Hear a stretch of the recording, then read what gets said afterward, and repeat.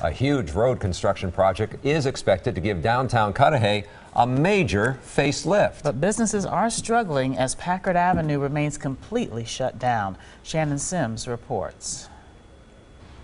Packard Avenue is downtown Cudahy. Uh, it's been a little like a like an old timey street out there with all the gravel, you know, horse and buggy style. But with the main street shut down and sidewalks ripped out, it's caused business owners along this once busy street to get creative. We sent out a map and some uh, suggested routes to get here, to make it a little bit easier for them. Put up some signs, you know, on specific corners so that they know which way to turn. South Shore Cyclery, just one of many working to maintain their customer base through the construction project. Some of them just continue to come in week after week and uh, support us because they don't want to lose us, and uh, and we want to be here. The owner at the gift shop, who is known for her spinner garden, had to move the massive display from outside her business doors to another location to attract foot traffic. It's hard to watch when there's slow progress. It's great to watch when there's work being done on every piece of it. The road project is part of the city's downtown revitalization plan.